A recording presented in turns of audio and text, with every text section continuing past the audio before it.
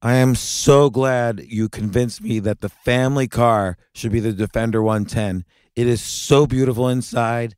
So comfortable and it just feels indestructible. Yes, it really is. I've been waiting a long time for the new model to come out. The Defender 110. I'm telling you, it's my favorite car of all times. It's my third one. You know, I have stories of going off road. The guy managed the group. He was like, What are you doing in this beautiful car? I'm like, I'm going off road. He's like, Are you sure? Because you can use one of ours. And then they look like Mad Max cars. I'm like, No, no, no, no, we're going to do this. And he was shocked. Wow. Well, it's great because the Defender has been reimagined for 21st century adventure and its unparalleled off road ability, as well as its robust interior, are invaluable whether you're headed towards uncharted territory or just a weekend of exploration. The Defender 110 tackles challenging surroundings with absolute confidence. The SUV conveys strength outside and in, featuring peerless technology like an intuitive driver display and an award winning infotainment system. That's my favorite part to keep you connected no matter where the journey takes you. Adventure is unique to everyone, and so is the Defender. Choose from the two door Defender 90, the four door Defender 110, or the larger Defender 130 with the ability to seat up to eight passengers. You'll find uncompromising performance in all three. So pack up and go even further with the Defender 110. Learn more at LandRoverUSA.com forward slash Defender. Sometimes it takes a different approach to help you unlock your true potential. Capella University's game changing FlexPath format helps you learn at your own pace and fit earning a degree into your life. From before you enroll to after you graduate, you'll be supported by people who are invested in your success so you can pursue your goals knowing that help is available if you need it. Imagine your future differently at capella.edu.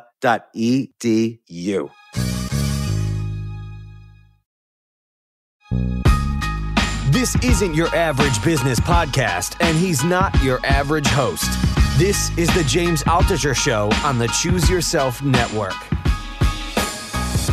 Today on the James Altucher Show. You know, because I think people have to get rid of that scarcity mindset, right? Yeah, have- and, and look, the only reason I've ever made money is because I did this approach. If you don't do this approach, you won't make any money because if you constantly say yes and chase people, Yeah. if you're the guy or the girl chasing the date Yeah. all the time, they're not going to like you. I think like when you stop chasing the wrong things, the right things will catch you, and and it's also yeah, you can teach people how to treat you. And I've learned this. It took me a long time too. When you realize your value, you'll stop giving it away for free. But if you feel like you have so much to give, you don't feel like you're giving it away. well, that's just it.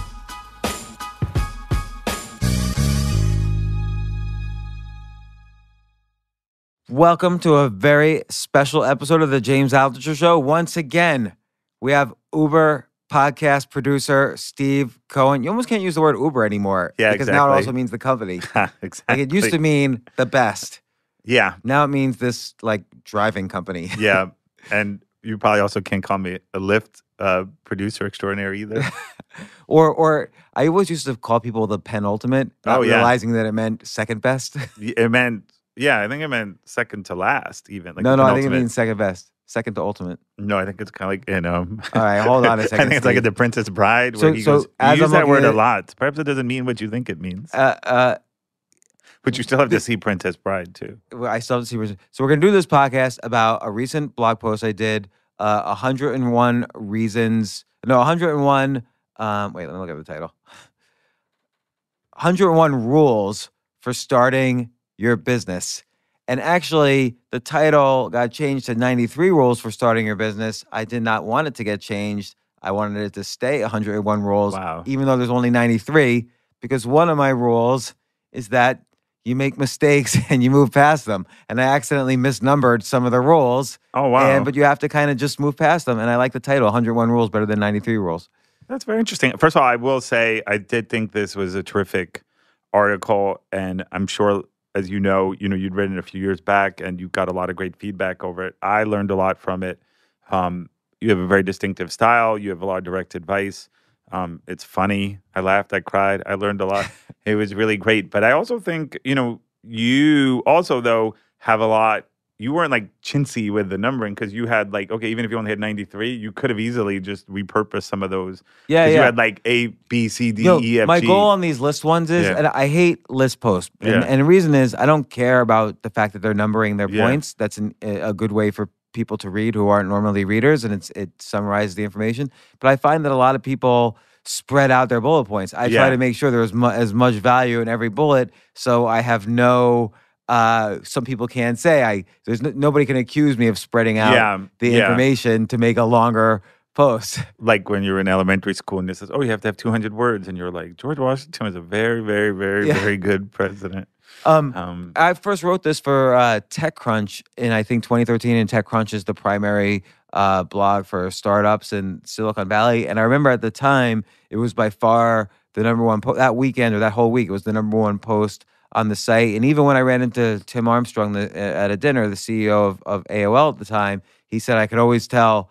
Uh, he said it for this week. He said I could always tell when you have a post up because it's the, the Wow. views spike for for for TechCrunch, but it was specifically he was referring to this specific post. Then I wrote it later for my blog and LinkedIn, and I I re and I just rewrote it uh, and changed minor things just to kind of. Sometimes it's good practice to rewrite older things Yeah. just to improve your writing and see you know you know keep on improving the craft. I, I think people are going to get a lot of value just by revisiting it, and it's the same way you often go back and reread things that you find interest, instructive or inspiring, and you see things you didn't see. You do that here, and you know, like there's a lot of stuff that you forget that you did, or Yeah, yeah. A, a, there's stuff that you forget, and and it's good to to see. Also, I try to write every post so that it's evergreen. So if I wrote a post in 2010, it should still read as if I wrote it yesterday. This I wrote in 2013. I really wouldn't change any of the advice.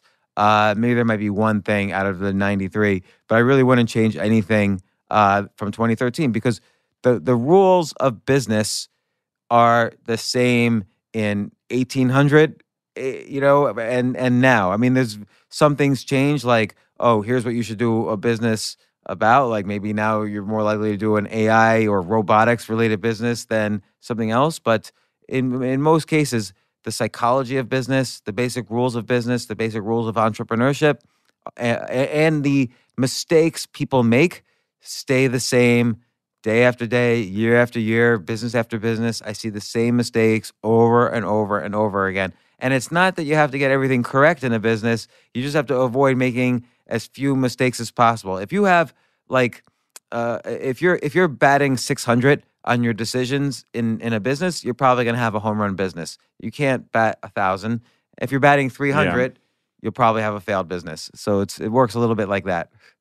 In baseball, if you hit 300, you've had a good business, but Yeah. you don't think it's the same kind of ratio. Uh, it, it depends what kind of business. So, so for instance, um, this is unrelated to that, the rules for starting business, but I'm always experimenting with new ideas and creativity, and things I don't even really, you know, you know, you might know some. Jay, Yeah. Jay's helped me with with some. I'm always experimenting with different things with creativity. Then, if you bat 100, it might be. If you bat 50, you know, 0.05, Yeah. you might that might be good enough for a home run. But a business, you kind of have to make most of your decisions correctly, but that still leaves you a lot of room for error. You can make Yeah. 40% of your decisions could be bad. And again, of course, this is, we're making this Yeah. up. It could depend on the d- type of decision. Like if you're making a decision about uh, uh, your, your business partner who you're giving equity to, that could be a pretty scary decision. But e- even then, most problems can be overcome a lot more easily than people think. Like we we've encountered even on this podcast, so many people who had a business fall apart because they had a, a difference with their partner.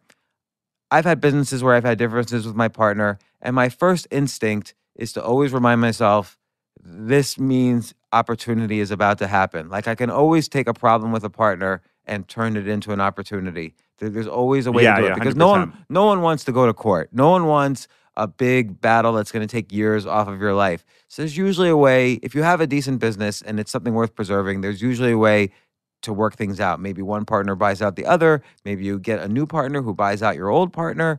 Who knows? There's always a way and that's to an age-old biblical issue with King Solomon and the baby, right? Like if the baby's worth preserving, people will figure out a reason because you both love the baby and you can work on it and it's worth doing. you know? Right. So that's Right. You yeah. an yeah. yeah. lesson. Yeah, If your own ego is more important than what you're trying to preserve, as that as your Yeah. example shows, you kill the baby. But I also think like it's funny because like you look through these l- lists, and I think we're not going to do them justice. I encourage people to read it, and at the end of this podcast, we'll have the obviously the article there, which I think is terrific. It's thought provoking. I don't think you were saying things that are provocative just to. Although you would Be you would believe some of the arguments. That's I fair, and you know, And I even say though, I, Yeah. I mean, I started off. I say, and sorry to interrupt. yeah, no, no, I even say, uh, this is a bullet FAQ. If you're a lawyer, feel free to disagree Yeah. with me so you can charge someone your BS fees to give the same advice. If, if you want to argue with me, feel free. I might be wrong on any of the items Yeah. below. And the reason I wrote this is I've seen so many people write guides to starting Yeah. a business or about entrepreneurship, and they're always so wrong that even if you get close Yeah. to the bullseye, you're going to be a lot better than these people who are giving advice who are so wrong. I've I've started a ton of businesses. Yeah. I've invested in a ton of businesses. I've advised a ton of businesses. I've been on the board of a ton of bus- businesses. I've just seen so much, so I I, I know what works and what doesn't. Mostly, you can't say a thousand well, percent. Sure, and I definitely, and I think I like your style, which I'd like to get into. But again, your hindsight could be other people's foresight. I think, you know, when people write something, a lot of people are writing it, and they're writing something that could be sellable. So dispose, you know, that they could be, it could be digested pretty easily, and makes people feel good about something. Oh, all I have to do, like, is want it to happen and manifest, you know, manifest it. So I do think if I'm listening to somebody who's been through it and went through what you've gone through, I'm going to listen. And you have concrete examples. But I also think one thing I'd like for us to do now, it's, and you've talked about this a lot, is instead of saying, okay, like you do in number one, okay, do a C Corp rather than S Corp or LLC. And, you know, I'd like people remember things when you have a story. You know, when you have a story, here's, and I want you like to So- keep in mind, like, hey, why did some of these companies work? Why did they not? What did you do wrong? So, and so, yeah, so that's a great point. Just again on the on the writing, I always try very much to have a story, but with this, I was being a little bit more hardcore. Yeah. In that, I did not. I on purpose. If you don't have a story and you're writing, Yeah. you have to have a reason. You have to when you're writing at all, you have to have a reason for every decision you make. So the reason I don't include stories or explanations with a lot of these things is because I'm I'm emphasizing I don't owe anybody an explanation for any of these things. And these are my decisions, Sure. not necessarily yours. And and again, this one this one particular one you just mentioned is too Yeah. much in the weeds. We can go into to more Sure, broader questions. 100%. But like uh, a lot of people when they're starting a business, they're trying to figure out, oh, should I do a C corp or an S corp or an LLC?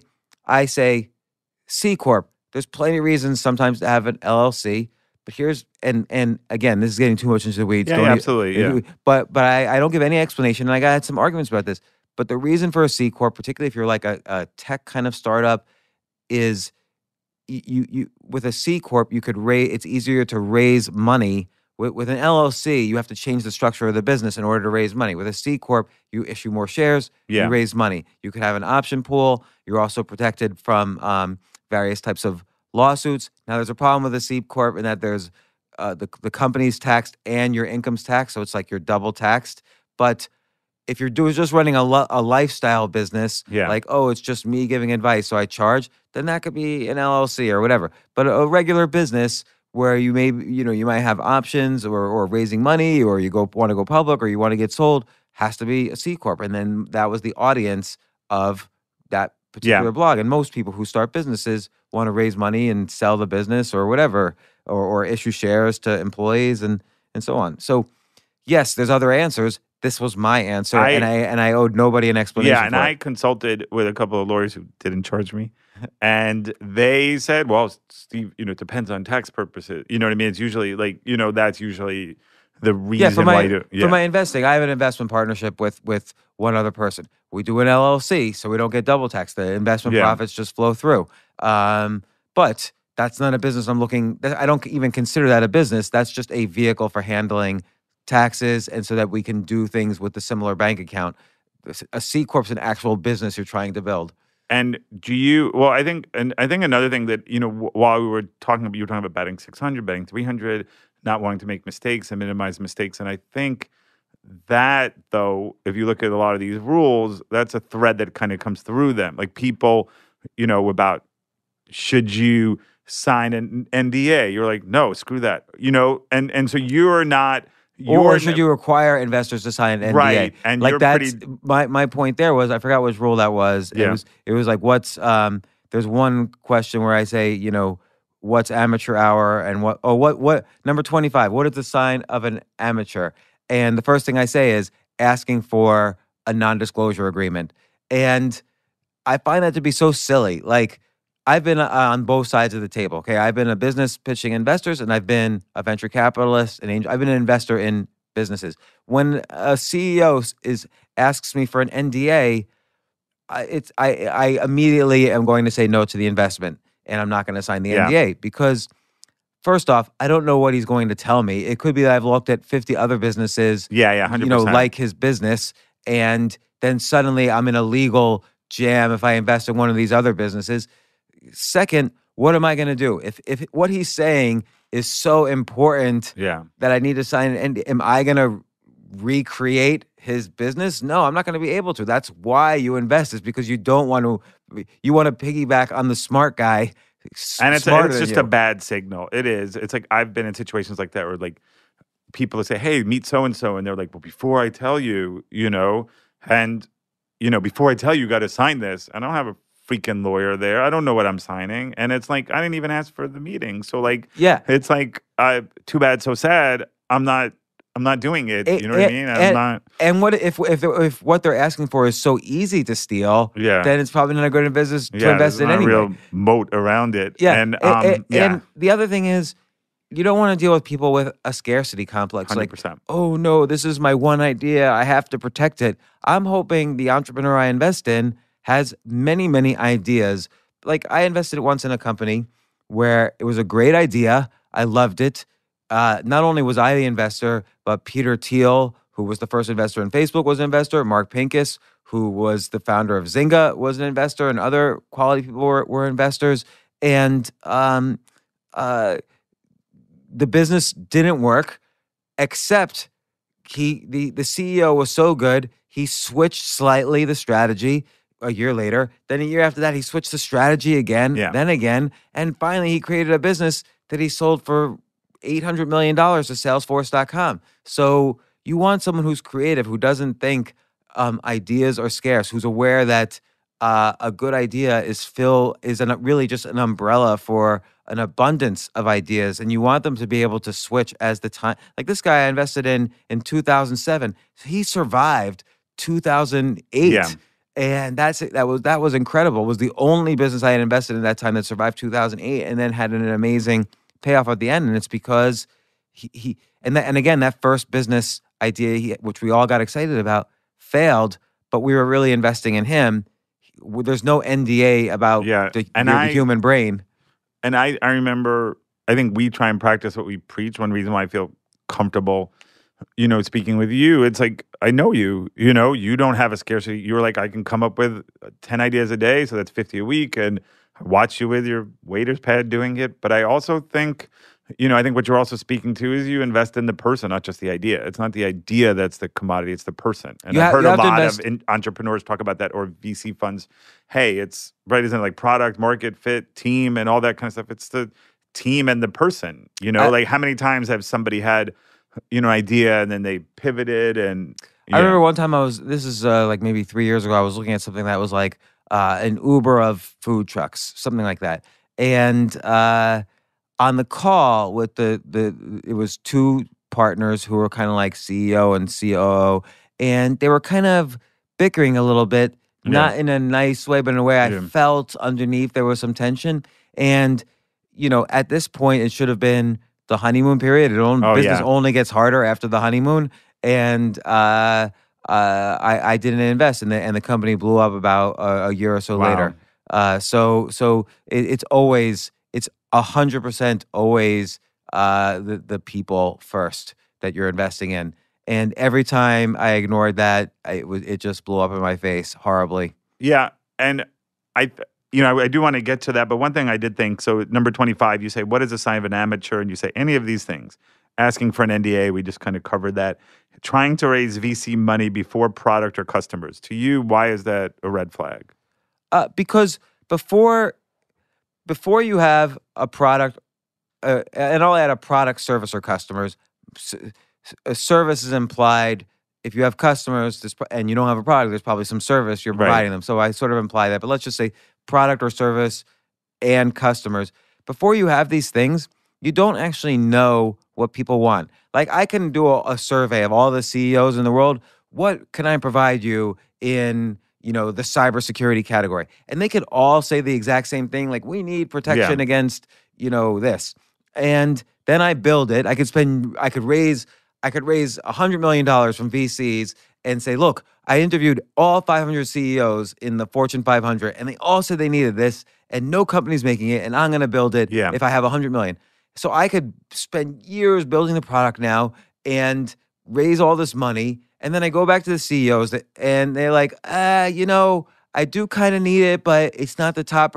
Like nobody, Right. you can't ask someone what they need. They don't know really what they need. You have to build something and show them somehow or other, And- like with a customer that's using it. This is what works. This is exciting. This is how much money was saved. This is how you're, you reach out to customers. This is how much time you've saved. You have to find some. And I think what you're talking about is that famous like Steve Jobs was was like where he didn't believe in focus groups, and he famously said like, "Oh well, Henry Ford said, well, you ask people what they want, they would have said a faster horse, not a car." Like right. people and and, now, and Steve don't Jobs know what they want. Steve yeah. Jobs uh, takes it a, a, a further step, which is like you have to create the market that you want. Yeah. I'm not even saying that. I'm saying there is a product probably that the CEOs want, Yeah. but it might not be what they think. So, for Sure. instance, take a search engine. What what business is Google in? What's the 99%? eh, What, what, what's what's they're in? You think of them as if you were to describe Google as Well, you think as a search engine, but it's probably more of a advertising. Yeah, it's really like an, an ad agency. yeah. yeah. It's like a gigantic mega billboard. Sure. So so uh, people don't really know at first what business they're in, and it's Right. only when you um provide you know provide value to customers that you start to realize what you're in, and then you could raise. Mo- you could productize that service, and then you could raise money for that, and you could show testimonials, examples, and so on. Yeah. I'll just give you one quick Yeah, example ask you. a friend of mine um, had a, a great idea for a business, and I said to her, um, and she wanted to raise two hundred thousand dollars for X percent of the business. I forget the percentage. And I'm like, well, what do you what do you need two hundred thousand dollars for? And she's like, well, I contacted a software company, and they said within six months they could build the product. Now, this was a product that can also be done manually. Although when you do a product manually, it's not scalable because you're Right. spending your time. But I said, why don't you call five or six of your friends who you think need this product and say you will do it for them manually. And she's like, why? I said, shouldn't I be, I know what I want. Shouldn't I be as scalable as fast as possible? I'm like, well, you, you don't really know yet. No one's ever done this exact thing. It sounds like a great idea. You don't really know yet what are your customers going to ask for? What additional features they might ask for? Maybe they don't want this product, even though they Right. all say they do. Maybe when you're doing this manually, you'll realize nuances that you wouldn't have known. So rather than managing some software company um, to make a product that you don't fully know is useful yet, you'll have so much more knowledge before you build the product if you just manually do this for a while. Then you have evidence that'll make it easier to raise the money, easier to build the software product, and so on. A, a- a- mega example is Oracle. Oracle, from the beginning, Larry Ellison kept saying, Hey, we have the best database in the world. General Motors, buy our database. So General Motors would buy the database. And then Larry Ellison would say, You know, we have to install the database now. We're going to put 100 consultants there for a year and we'll install the database for you. And General Motors said, Fine. They didn't have a database. They were building, they were providing really what I'll call database services. And then after four or five years of doing this, Yeah. kind of providing this database service, they finally had a product. Uh, uh, uh, after they learned what everybody really wanted and needed, and the kind of functionality they they needed to to to build in. So you know, a lot of the best companies did it that way. and that I think the ones that fall short, obviously they try and fake it till they make it. Famously, Theranos and other ones, they were like, okay, we'll just kind of go along and act, fake it till we make it and act like, you know. Yeah. But you have to do it with a degree of but integrity. but but but Theranos they were there's faking it till you make it Yeah. legally, and there's faking it till you make it illegally. Theranos was um, saying they had one thing. Well, well, I could say Oracle did the same Yeah. thing, but Theranos was actually providing Right. a service that was a lie that was harmful to people that Yeah, could yeah. affect people's lives, and they were doing Right. it illegally. What Oracle was doing was still providing the same outcome that General Yeah, Motors sure. expected. It just wasn't a product; it was a service, and then they productized the service. But um, uh, uh, you know, sometimes it's important to to fake it till you make it. Like, look at the example of Sara Blakely, Yeah. the creator of Spanx, uh, sh- or Daymond John, who's the creator Yeah. of FUBU.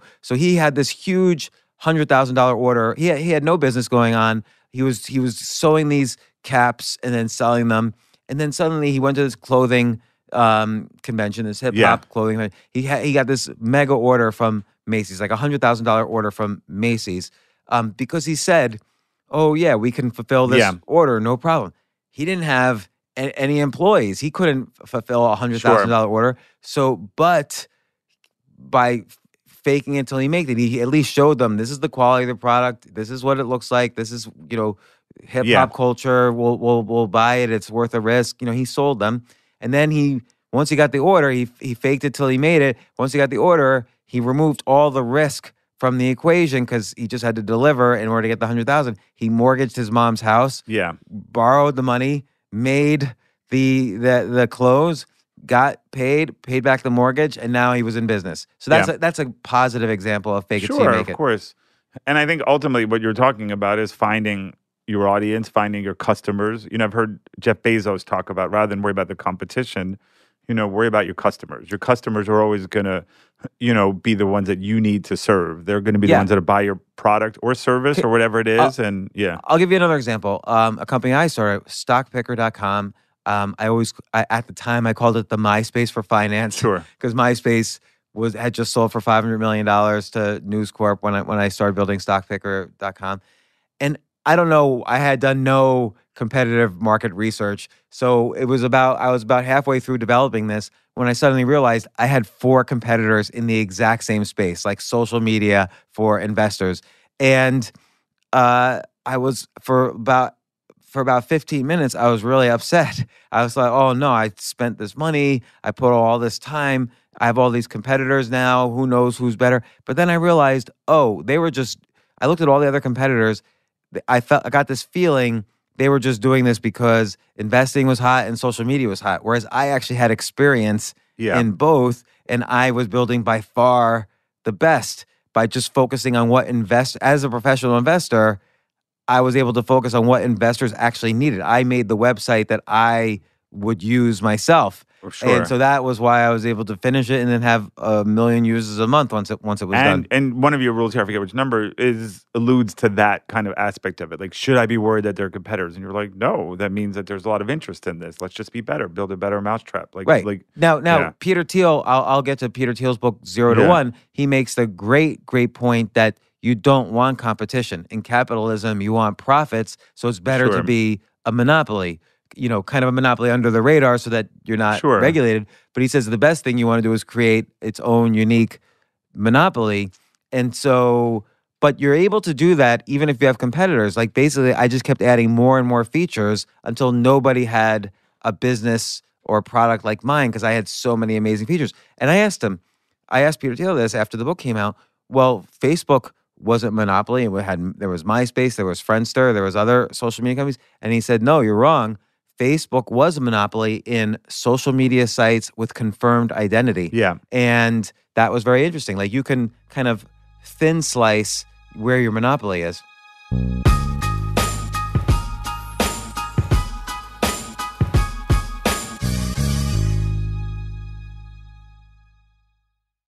Oh my gosh, I love these clothes. Mizzen and Main. That's M I Z Z E N and Main. It really is the most comfortable work clothes. Travel clothes. I'm try I, I had to travel this whole week. I'm traveling for a week and a half and I just took Mizzen and Main clothes with me. Close out 2023 in style with comfortable, breathable, packable, and machine washable pieces from Mizzen and Main. As you wrap up your year end goals, enjoy a Mizzen and Main dress shirt that you can wear confidently. I like that they've very very just nice, solid colors. I don't really like to get all fancy in patterns and everything, although they do have some pattern shirts, but very comfortable clothes, stretchable pants. It's just super comfortable, but they look professional and they, you can wear them casually or professionally. I like some of their flannel shirts or untuck shirts. I love untuck. I never tuck in. So again, uh, whether you're shopping for a special someone or giving yourself the gift you really want, I just buy myself gifts.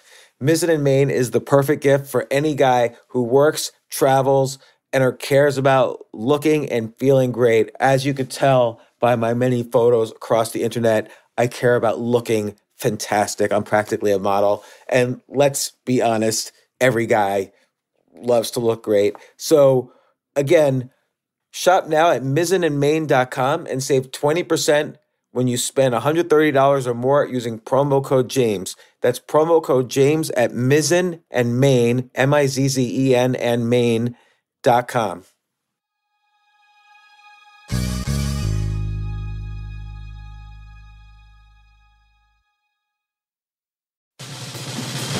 These days, we're all investors, trying to be smart with our money despite our worst impulses. But at iShares, we believe that deep down inside of every investor is a better investor. One that's just waiting to be let out. Explore iShares ETFs and insights and let your best investor out. Visit iShares.com for more information.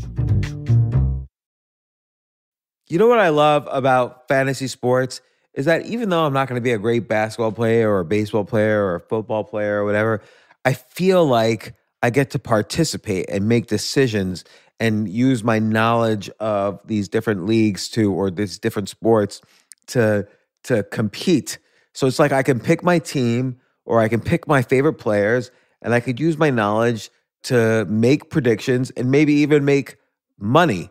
So with the basketball season here, you can now pick combo projections across football and basketball from the Specials League on Prize Picks. This is a league created specifically for combo projections that include two or more players from different sports or leagues.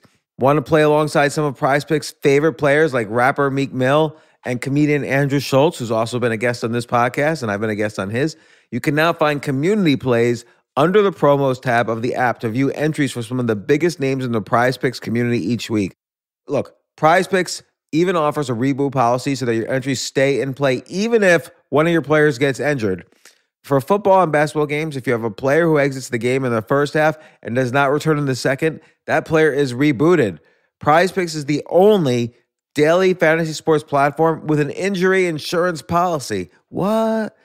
So, I love playing it. I love anywhere where I can use analytical ability with my interests to demonstrate some skill and maybe make some money. And I like the game like aspect. I do wish they had chess as a category on prizepicks.com, but I'll settle for what they've got. Maybe I should make my own fantasy chess league. But in any case, I love prize picks. Go to prizepicks.com slash James.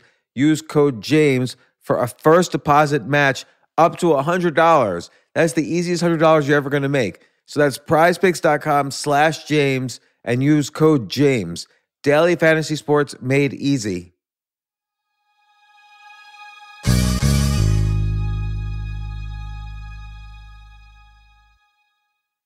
And I, I, I think, you know, a lot of these reasons, like you were talking about, you know, why certain businesses fail. Sometimes they're going to fail for a variety of reasons, but a lot of times it is due to the weaknesses of the people or the poor decisions they've made.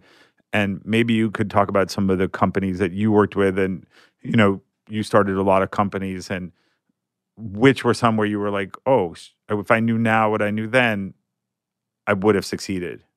Um, I think I think if if you always have to ask yourself as an investor or even as an entrepreneur, but let's just take take the focus as an investor. Why am I getting this opportunity? Why does this opportunity Yeah. exist for me? Uh, uh, because nobody wakes up in the morning and says, "Man, I can't wait to make James Altucher rich." Right. Like no one's just handing out opportunities to me for free. So let's say I see a business and I'm like thinking, hmm, this looks good. I'll invest and maybe I can negotiate for a bigger amount because I'm the only one investing Right. and and they don't have anyone else. Well, there's a reason why they don't have anyone else and they're coming to me, and it's probably not a good reason. So now, um, when I invest, I always make sure I'm investing with people who are much more professional than me. Uh, or maybe they have an infrastructure like a venture capital firm, and they're they're smarter. They do more due. I still do due diligence, but I assume I always invest with people who have done even more due dil- due, due diligence and have maybe PhDs working for them that do research and so on. So I always assume I'm the stupidest person in the room and that everyone else has to be smarter and then I'll be willing to invest. Even when starting a company too, I just I don't assume that somebody wants a certain product. I really like I said I try to manually Yeah. provide the service or I start And off what does that with- mean manually? provide like service? like let's say let's say you wanted to build uh, your own website. I'm just giving you an example. Yeah. My, my first business was a website Yes, development company sure. in the 90s. I would build your website for you instead of making software that builds websites. oh, interesting. Right. Now, if I had made that software after building hundreds of websites, Right. maybe I would have been a billion dollar company like WordPress. I didn't do that. There's a difference between for those entrepreneurs out there, right? Like this, there's a practice and there's a business, right? Like a business is scalable. Yeah. Yeah. and so and so a, a service business will be profitable because uh, I don't have to invest in ma- making a product. I just charge for services, so I'm always going to be profitable. So that's a kind of business, but it's much better to have a product style company. So again, two companies that are in the website development business. There was my company, which sold for like I don't know, 15 million or so, Yeah. and then there's a company like WordPress, which is worth over a billion they both have the same goal make a website but a product business is, is worth more so whenever you have a service business you always want to figure out how you can productize it because that increases the value Yeah. dramatically i only learned that after let's say being in business for 10 years so i wish i had uh, known that uh, early on i could have made a lot more money because there were some pieces Yeah. of software i was writing to help people make websites that i, I didn't never told people about because i didn't think Yeah. it was useful to me And and then how do you make sure you don't make those same mistakes again? Well, now as an You make investor, new mistakes. Hmm? you make new yeah, mistakes. yeah. You first off, you always make mistakes, and, and, you can't be afraid to make mistakes. And, and and I think that is what you're alluding to with some of that here. Like, oh, if you're holding on so tightly to your idea, or you're too precious about this, or Yeah. yeah, I mean, I mean, there's 93 rules, but like, there's Yeah. a lot of sub rules. Like, for instance, in that number 25, because I'm still staring at it, what is a sign of an amateur? There's like 10 things under there. So there's really like 200 different Yeah, points and 100%. rules. All of this, the only reason every single one of these things is here is because I've made the mistake of doing the opposite at some point. So 200 things. So it requires a lot of bad experience to kind of avoid lots of mistakes. And the reason you want to avoid mistakes is that's how you remove risk. You don't remove risk by being great. You move a risk Yeah. by not being bad. And so, so uh, that's what I had to learn the hard way. Um, uh, so yeah. what I do now is I again as an investor, I'll invest with people smarter than me. I usually won't go on a on a board of directors anymore because I want people smarter than me to be on the board of directors. Uh, and I will, you know, I'll, I, uh, as an But what investor, about? But what if you're out there, you know, like, you know, if you're out there and you know you're listening to us, and you and you may say, well, geez, how do I get exposure to these people? Or okay, I'm not looking to invest. I'm looking to start a business. You know what I mean? Like I'm trying to picture somebody there. Yeah, yeah. So like- the way the way, like- to, the way yeah. to get exposure to people uh, uh, now you could I could talk from the point of view of an entrepreneur. The way you get exposure to people is you start a business. You figure out something people need. You provide that service. If it works, you productize it. You raise money to make it into a, your service into a product, but you already have revenues and profits and customers because you've been providing a service. Uh, and uh, and you choose yourself, like Yeah. you famously said, like which is I think a lot of it is consistent with what you've written about over the years. You know, should I hire a PR firm? Should I get a technical person? Should, and the answers to those are Yeah. no. In in almost Yeah. every case, sh- when you say should I hire X, the answer is no, at least initially, because you should do everything yourself, particularly if you're a first time entrepreneur. Now, it's different if you're a restaurant, you need a, a manager, you need waiters, you need a, a cook, uh, uh, Sure. uh, and, and so on. But you should understand the recipes, you should understand um, the architecture of restaurants, you should understand what is a good hostess or host. You should understand what's a good waiter and what's good service. So you should ha- be aware, the, the the entrepreneur needs to be aware at a very professional level of every aspect of the the business. But um, you know, now uh, if I was going to do something, and I have ideas all the time, I would very much try to come up with a good idea and find a good customer who wants me to do that idea, and then if I can, try to do that idea manually as much as possible to see if if it's if it's Yeah. something that works, and then productize it. Like, um, you know, we were we, we were just riffing Yeah. around like a year and a half ago, right? Uh, th- this is an idea that I'm sure has been done a billion times and is probably a bad idea, but uh, we were just joking around, and uh, this was the idea I, I had and I, I shared with you. And uh, imagine if someone calls up a restaurant and Yeah. says, "I wanna I wanna make a reservation for four. and as soon as the um, uh, host or the maitre d or whatever puts the rest the reservation in the system, it pulls up all of let's say I make the reservation, it pulls up all of my social media, Yeah. everything else about me. Maybe it pulls up even my Yeah. Experian data, and and I'm and you're able to see, oh, this person likes this kind Yeah. of wine. He commented on it. He was in this region of France two years ago, so he probably likes this kind of wine. He he's a vegetarian, so he probably he likes this kind of. And so then you can alter the customer experience by having this knowledge at reservation time. So then we talked to a restaurant Right. owner. That guy was like, "Oh, of course I would love something like that." So now I can do this manually. I can spend a day or two or a week or a month, and everybody who makes a reservation, I can say, "Look, try this strategy, try this strategy, try this," because I could look up manually. Yeah. And then at the end of the month, we can track did the restaurant make more or less money? And did they, they make more money on the we could even test, did they make more money on the people where I gave them information or more or not more money? Or was it the same? And then you have a Yeah. testimonial. Then you could go to another restaurant, do it again, two testimonials and and more quantitative evidence. Now I can make a product and raise some money if I need to. By the way, I'm already making revenues because I've been Yeah. working on it as a service. Yeah. Or I could just charge I could maybe the other thing I can do is I can hire 50 interns, do it for 50 restaurants, and so it's still not a scalable business.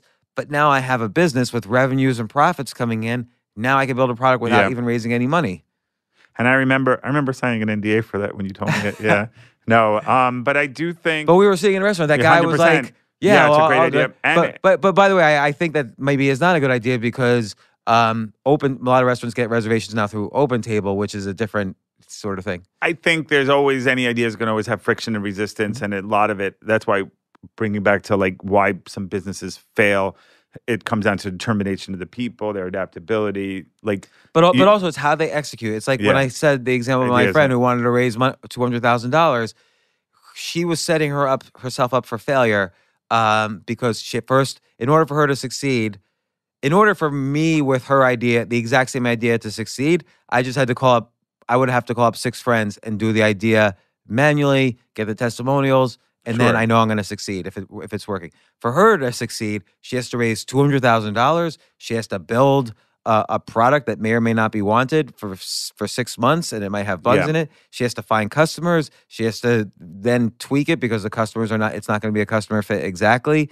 Uh, so I only had one thing that had to work yeah, in order for my business to succeed, my version of her business to succeed, she had to have five things that all had to work at the same time in order for her to succeed. So people misunderstand execution.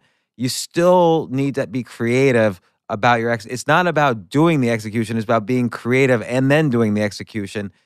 You know, Right. that's very big differences. The same idea executed in different ways. One could fail, one could not.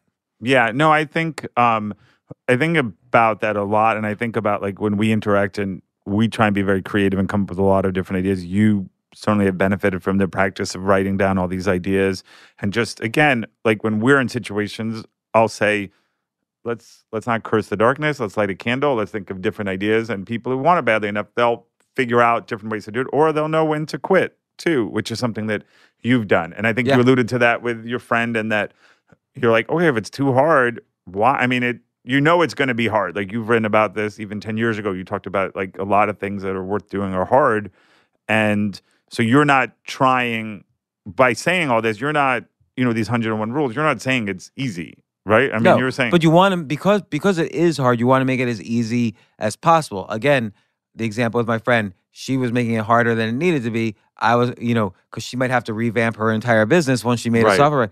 I would already, just like Oracle, but by the time it actually made a database, Yeah. they knew everything the customer wanted. If they just made a database first, they would have to revamp the whole thing once they knew what the customers want. So here's another example. I created a company called Jungle Smash. This was in, I want to say 2007. I, f- I forget the year, 2008 uh, or 2009, one of these years. And the idea was I would offer $1,000 a month. I would pick a brand like Crest toothpaste, Yeah. and I would offer a $1,000. I would hold a contest and I'd offer a $1,000 whoever made the best advertisement for Crest toothpaste. And I called the, the business Jungle Smash, and people started submitting videos. Now, I could have made a whole website where people submit automatically and there's voting automatically and uh, people friend each other and blah, Yeah. blah, blah. Uh, instead, people emailed me. Or no, people. E- lo- I had people load up the videos on YouTube. Yeah. They emailed me the link. I manually put them on Yeah. like a WordPress blog that I had set up to make it as easy as possible. And uh uh you know, I didn't I, I and then I picked it myself. I didn't Yeah. have any voting. I picked the winner myself. I, I there was no automated voting, there was nothing automated. And here's the interesting thing that happened. First off, dozens of people submitted videos. Then Crest toothpaste, I, I, I guess Yeah. Procter and Gamble, their marketing department, contacted me and they said, "Can we submit also?" They submitted a dozen Wow. videos, and uh, so suddenly I realized something I didn't realize at first, which is that oh, maybe this disrupts advertise the advertising business. Maybe maybe big brands like even Procter and Gamble or, or Crest toothpaste, they could outsource advertisement development to these Sure. crowdsourcing platforms. And so I suddenly had like a legit business without putting a single dime into it other than Wow, the yeah. thousand dollars for the cutters. And, and and it was so significant that Procter and Gamble even wanted to set up a call with me. Now, it just so happened that month I was getting a divorce and I decided, Yeah. you know what, I don't want to deal with this. So I I didn't I didn't keep up with the business and whatever you Right. could anybody that's why I'm being abundant here too. Anybody can go steal that business. I don't know if anybody's ever even done it since, but I knew for a fact that oh, A, people were gonna submit to win a contest, and B, large brands were interested. So but th- but I didn't spend a single dime, whereas I could have spent a hundred thousand dollars building a whole Yeah. platform first. And you you've actually, you know, full disclosure, you've helped me a lot with that too. Like we'll come up with ideas and you a lot of times are ready fire aim and I'll be like, yeah, it's we could do this, this, this, and this, and I make it more complicated. And that's probably also a delaying tactic. Like it's and th- and there's a reason. Obviously, we talked about this in a recent podcast about why some people don't succeed. Right. And so so regardless of the reasons, like maybe it's oh, Yeah. it's an excuse or it's like a fear of failure Yeah. or it's self-sabotage, regardless of the reason, there's just one technique you can do, Yeah. which is what I call figure out the conspiracy number of a solution. So how many things if if you have a solution, how many things have to conspire together to make that solution work? So if I had to build a website, create voting, create like uh you know Yeah. blah blah blah you know find or by the way i just picked crest toothpaste Yeah. out of a hat like if i had to find a brand that would agree Right. that's another And thing get their permission. yeah and get their permission everybody was telling me don't you need their permission Yeah. no um but but everybody Yeah. thought it so so i the way i did it was nothing had to conspire was my solution as opposed to what everybody else was telling me five things would have to conspire so do the pro the solution where it has a conspiracy number of t- tops one for example, like like you just launched. I remember we were talking about doing a book club because you love books. You've written a lot of books. Um, twenty three at last count, and you and I was like, we need to do a book club. We can partner with so and so, this, that, the other. And then the next thing I know, you like started doing videos, and we're getting a lot of downloads. yeah we're gonna and- get 50000 yeah. Downloads amazing. uh, Jay uh, uh, does a 50 great job 50,000 with views them. a They're really amazing, and uh, but but like that was something where hey, you just like a lot of people say, you ship it, get it out there, put it out there. We'll get an audience, we'll get better, and you know the month it might have taken me to partner with some, you know, or to or never do it, and yeah so yeah you have to figure so, out most for you. meetings yeah, most meetings don't work out yeah, right even if you the meeting seems great like oh yeah Yeah. we love this let's get let's have a follow-up meeting most things don't work out and So that's why A is good to avoid most meetings. And by the way, there's a kind of corollary, which is if Yeah. say if someone says, "Hey, we should do this," together," you should say yes because Yeah. chances are it's not going to work out anyway. So why say no? Well, that's is that the proverbial like, oh, let's do lunch in Hollywood. You had a lot of Hollywood meetings or people like that. But I, I think one thing that I always liked, I always liked that um, there was a movie Get Shorty with John Travolta Uh-huh. and Gene Hackman, and there was a scene where John Travolta is looking at Hollywood from an outsider's perspective, and he's a gangster who comes in, and the the theme of that movie is called Get Shorty, and you know it's called Get Shorty because they were trying to get Danny DeVito to be in a movie, and Gene Hackman is of that system, and he's saying his character is kind of an old like schlocky movie guy, and he's like, listen, my psychiatrist cousin's uh, neighbor, you know, knows him, and you know, and we could ask him to do it. And Travolta's like, listen, you know, his character Chili Palmer says, listen, if I want somebody to do it, I just stick a gun to their head and say, you're doing it, and very direct. He goes, I'm gonna ask my psychiatrist neighbor's cousin, and he goes, no, my psychiatrist cousin's neighbor, and he's like, it doesn't matter, like you. And so I do think there is something to be said about being direct, being bold, taking a Yeah. chance. You're not always gonna succeed. and and and, and right and if your if if your conspiracy number again is as small as possible then you're able to try things quickly fail quickly like at any given point i'm not even talking about just starting businesses at any given point i'm experimenting with either uh, entrepreneurship or other creative projects five to ten things at a time because i make it as easy as possible for myself to see which thing i'm going to hit the accelerator on so should I? Right now, I'm trying to do uh, a, a TV show, uh, another book, uh, another business, uh, invest in other projects, uh, on and on and on, and uh, I figure out ways to to structure the experiment so that it's as easy as possible and as fast as possible to get results. And and I figure how I'm going to measure results. I keep my conspiracy number low, and then I'm able to execute. Now I know we only got to Right. 25 of Yeah. the 93 options, but I think um, you know this has already been an hour. We should uh, Can I just go through three real quick? Oh, or we could do it. We could do a part two also. Fine, but I'm just gonna just say. Okay.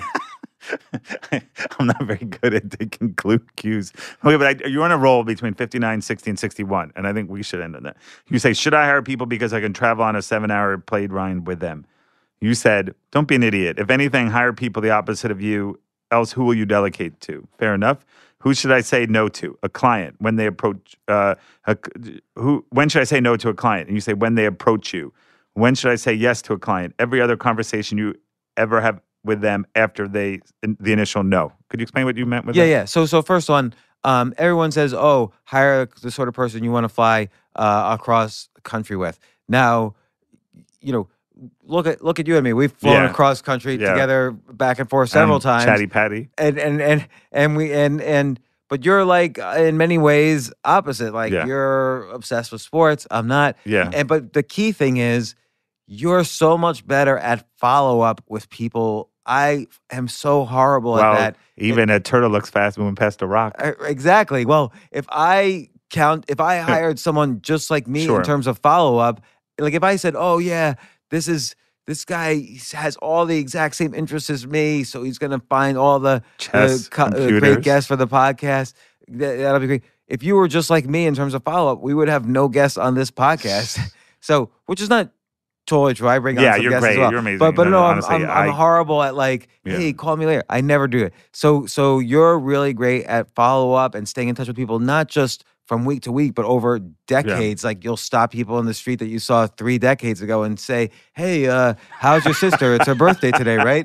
And uh, uh, uh, and then and then people come on the. You got the most Yeah. amazing people on the No, thank you. But I think because it's, I can only do it because we have a great team here. y- you yeah. have to hire for you know you have to hire people not like you or else you should do the, Sure. the those things uh, second well the second one was um, about the client if a client comes and and says um, hey can you be on let's say let's say i'm i'm trying to think of what's a, a, a business that a client would approach me on uh, what's a what's a what's a business that we oh, can think of Uh, that a client approaches you about a business, um, web design. I mean, right? Yeah, done- or, or let's say Yeah. um, uh, now it's you know strategic social media Yeah, yeah. marketing or Okay. whatever. Uh, my initial answer is always here's what I do. It's a, it's a one-two punch. Yeah. My initial answer for something like that is, um, no, I'm really busy, but eh, eh, here's what you should do, and I'll list, you know, Yeah. my ten ideas. I always have ten ideas Wow, for them, that's amazing. and and then I'll say, but, and I will introduce you to somebody who can help you Right. execute these ideas. So then, there's no bad Right. even though I said no, there's no bad outcome there because one outcome could be they ignore me completely, in which Yeah. case they were never going to pay me anyway. if- Thousand percent, if- yeah. You know, B, they could hire the person I recommend, and now I either have a great relationship with both Yeah. sides that I could use later on as in my Yeah, Rolodex, a- a- or maybe that person um, gives me a finder's fee or whatever. yeah. That's happened. Or they could hire that person and put me on their board of advisors and gives me shares of their Yeah. company or whatever. So I've had all of these outcomes happen. Um, the bad outcome that happens is I say yes, and now suddenly they're like, okay, well, you have to present us a proposal. And I'm like, well, I just told you, no, no, no, you have to come into our office and Yeah. give us a full proposal. A- And then you have to like dress up and give them Yeah. a full proposal, and they're and they're acting like they're already your boss, even though they've given you no money. And so there's nothing good comes from saying You're so smart, Now, yeah, if they call you a second time, you can say if they call you a second time, the reason they're calling you is because look, we took we thought about all of your advice. We really like it. We'd really like you to be more involved in the company because we we respect this advice you gave. Now you could start feeling out if there's a relationship there. You can say, okay, how about we Yeah. have lunch? How about we meet? You know, and then you could see. And and sometimes that's the way the best business relationships result.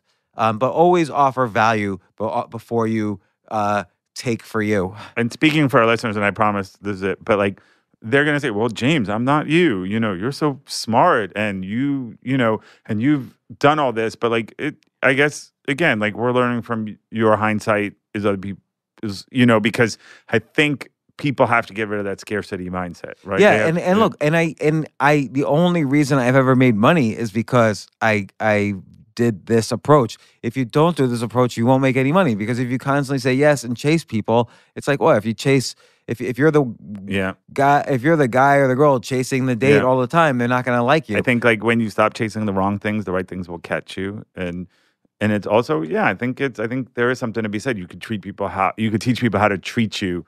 And I've learned this. Took me a long time too. It's like when you realize, well, I mean, I was gonna say when you realize the va- your value, you'll stop giving it away for free. But you have, if you feel like you have so much to give, you don't feel Well- like you're giving it away. Well, that's just it. So I call this the Google technique. Yeah. So um, if you know my my best sales have always happened when I recommend the competition first. I say, you know what, it's not quite right for me. You know who does this even better is my competitor XYZ. So what does Google do? If if you go to Google and you say to Google, Google, please tell me everything you know about motorcycles and what motorcycle I should buy.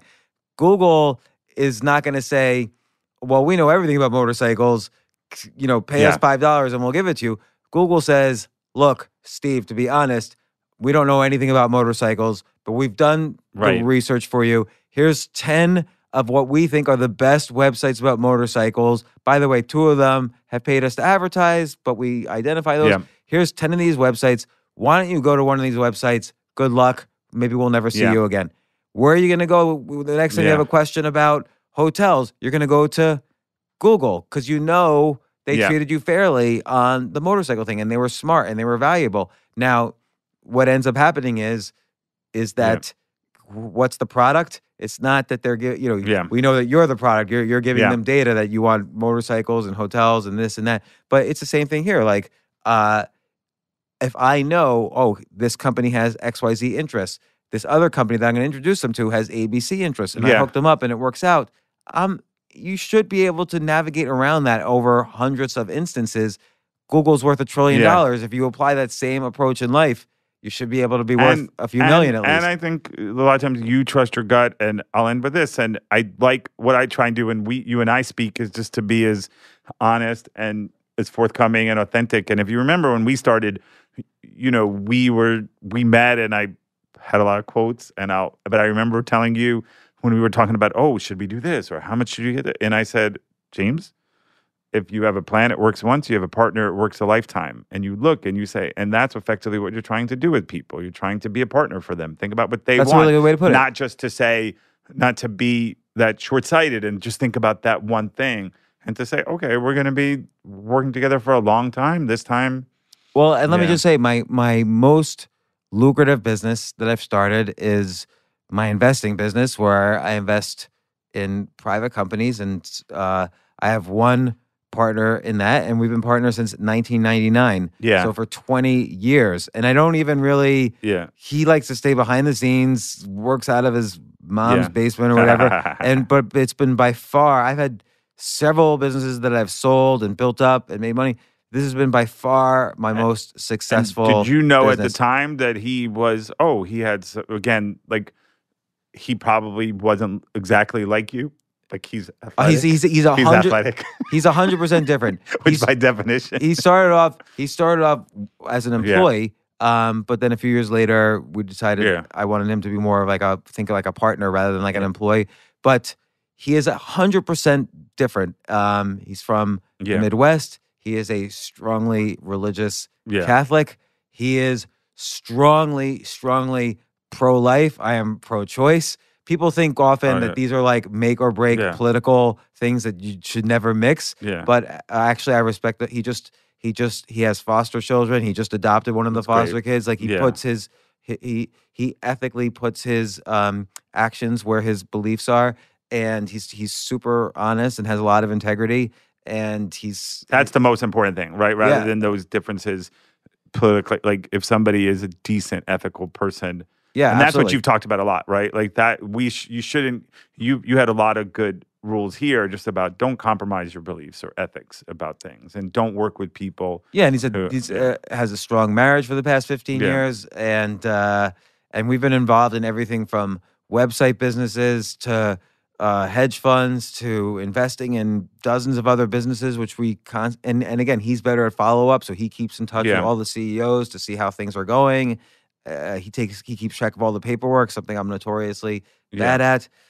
Over the years, like in Yeah. when I was getting a divorce and was depressed, he was able to kind of cover for me in ways that were were Yeah. were very helpful.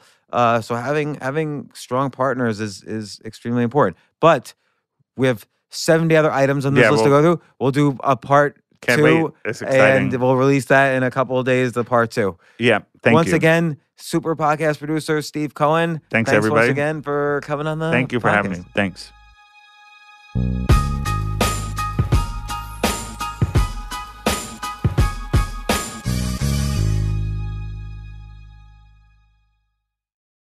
AI might be the most important new computer technology ever.